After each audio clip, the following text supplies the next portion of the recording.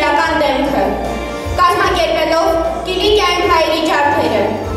Դրանց զոհ գնացին ավելի քան 30 հազար հայ։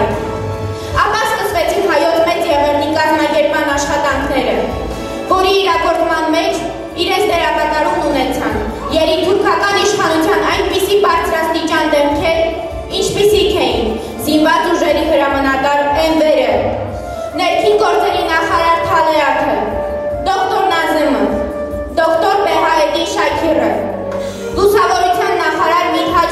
եւ այլով։ 1914 թվականի հուլիսի 25-ին հրապարակված զորահավաքի շրջանակներում թուրքական իշխանությունները բանակ էին զորագոչում 15-ից 60 տարեկան հայ տղամարդկանց, որոնց մեծ մասը շինարարական աշխատանքներին մասնակցելու նպատակով մաս-մաս ոչնչացվում էր։ Դրանով իսկ թուրքերն ազատվում էին հնարավոր դիմադրություն ցույց տվող հայկական ուժերից։ 1915 թվականի ապրիլի 24-ից 29-ը թուրքական իշխանությունները դերթակալեցին 800-ից ավելի հայ մտավորականների, որոնց մեծ մասը դաժանորեն սպանդի ենթարկվեց։ Երրորդ քայլը. Անպաշտպան եւ անօգնական կանանց, ծերունիների, երեխաների զանգվածային ջարդերն ու բռնագաղթն էր։ Սա իր դաշնության, մարդկության պատմության մեջ նախադեպը չունեցող ցեղասպանություն էր, որի զոհ գնաց 1.5 միլիոն մարդ։ Ցեղասպանություն, որը նպատակ ուներ իրագործելու հայ ժողովրդի massայական ոչնչացումն ու հայրենազրկումը։ Հայաստան գործողությունները հետագայում եւս շարունակվեցին։ Որոշակի ընդհատումներով տեղի ունեցան նաև 1918 թվականին եւ նոր թափ ստացան 1920-ից 1922 թվականներին Թուրքիայի քեմալական իշխանությունների շնորհիվ։ Թալեաթին, Էմվերին, Ջեմալին եւ մի շարք այլ ոճրագործների դառն իրականացրին հայ վրիժառուները։ Ես մարդ եմ սպանել, բայց մարդասպան չեմ։ Սողոմոն Թելերյանի խոսքերն են, ով դատական դահլիճից անմիջապես ազատ արձակվեց։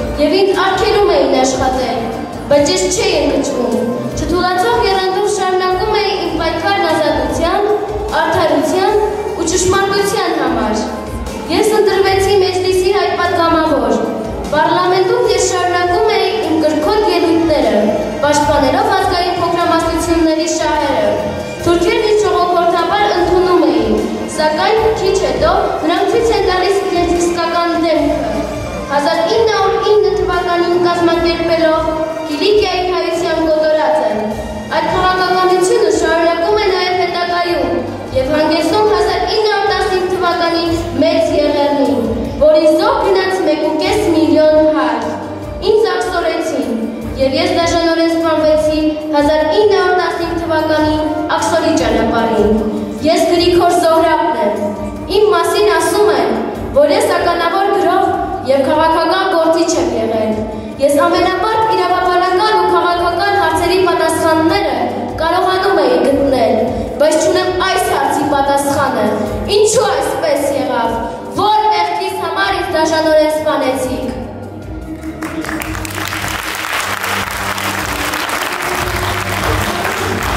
Ես Եմ։ Ծնվել եմ Ակնում, որտեղի վարժարանում էլ նախնական կրթությունս եմ ստացել։ Հետո ընտանիքից է տեղափոխվել եմ Կոստանդնուպոլիս։ 1896 թվականի ջարդերի ժամանակ ես ընդամենը 18 տարեկան էի եւ նոր էի սկսել գրական փորձերս։ Գնացի արտասահման։ Ամբողջ 12 տարի դեգերեցի օտարափերում, եղա Հունաստանում, Կահիրեյում, Շվեյցարիայի զանազան քաղաքներում, ապա Փարիզում եւ Լոնդոնում։ Հայրենիքի կարը հուսել ինձ տուն բերեցին, բայց տունս արդեն ավերվում էր։ Թուրքերն իրենց ձև գործն էին սկսել։ Բանաստեղծները ծնվում են երկելու կյանքի գեղեցկությունները, հայրենական հողի եւ բնության քնքշանքները, ապրելու պայծառ երասներով, բայց ինձ վիճակված չէր երասներից թևերով քայլելու։ Տնից կոպտաբար հանեցին ինձ եւ մտրակելով ստիպեցին քայլել աքսորի դաշան ճանապարհով։ 1915 թվականին գտնվում էի այն խմբի մեջ, որին Անկարա քաղաքից ոչ հեռու ձորում թուրք ուժանները տանջեցին պայրենաբար, զենքով, բրիչներով, քարերով ու կացիններով։ Պատմում են, որ մյուս օրը թուրք բաշիփոզուկները Անկարայի փողոցներում շրջում էին հայ մտավորականների եվրոպական տարածքներով։ 103 տարի է անցել, իսկ ինչու այսպես եղավ, որ մեղքիս համար ինձ դաժանորեն սպանեցիք։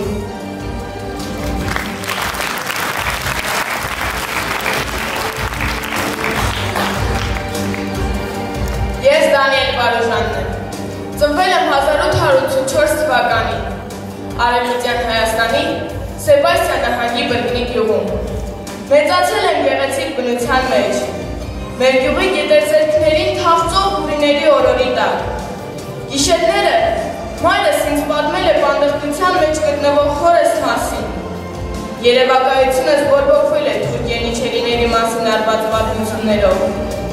Բնությունից ստացած երազային տպավորություններին խառնվեցին կյանքի վշտերը։ Ես պատանի էի, սովորում էի պոլիս քաղաքում եւ ակամա ականատես էի լինում Սուլթան Համիդի կազմակերպած ջարդերքերին, որոնք հետ ծանր տպավորություն էին թողնում ինձ վրա։ Թուրքերն անխնա ու լտիաբար հալածում ու տանջում էին հայերին։ Այդ օրերի հալաջալներից է նաև իմ հայրը, որին մենք երկար ժամանակ որոնում էինք եւ վերջապես գտանք բանտում շղթաների մեջ։ Տարիներ անց հորս բանտի մեջ ոտանավորում ես գրեցի։ Դեռ փոքր էի։ Եկա քեզ իմենավոր մութ զնդանից մեջ այցի։ Մայրս հիվան էր, կշրջե ես ազատ, մեջտեղը բանդի և մահջի։ Բանաստեղծությանս մեջ բանդարկյալ հորս պատմում էի մեր ծանր կյանքի մասին։ Տատս մահացել էր, մայրս հիվանդ էր ու թույլ, չորացել էին մեր պարտեզի վարդենիները, ավերվել էր մեր հայրական օջախը։ 1915 թվականն էր։ Ես ինձ ամբողջովին նվիրել էի պոեզիային։ Աստծո զորությունն էի զգում իմ ստեղծագործական ընթացքի մեջ։ Երազանքներ ունեի, սեր եւ հույսեր, բայց վրա հասավ արյունալի աղետը։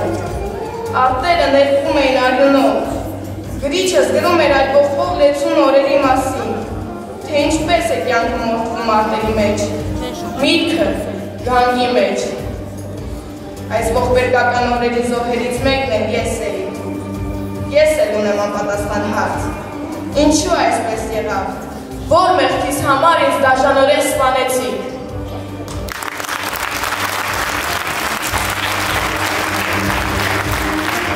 Ընդհանրապես երեք ձայն, այն 600 մտավորականներից, ովքեր ասելիք ունեին, ովքեր կարող էին փրկել մի ամբողջ ժողովուրդ, իրենց մտքի զորությամբ, բայց թուրքը լրացրեց նրանց, ջարդերի հենց առաջին օրերին։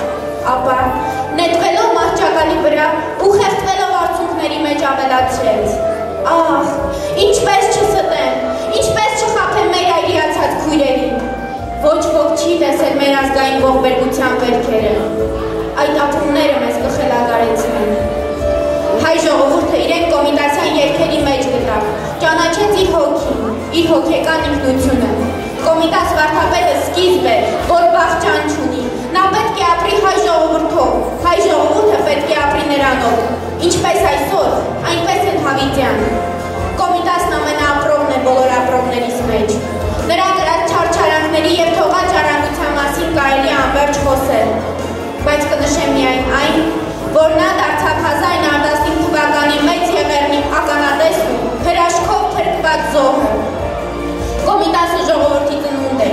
եւ նրա պարգևած լույսը դեռ երկար պիտի անդրադառնա ժողովրդի դեմքին եւ արտացոլվի նրա հոգու մեջ։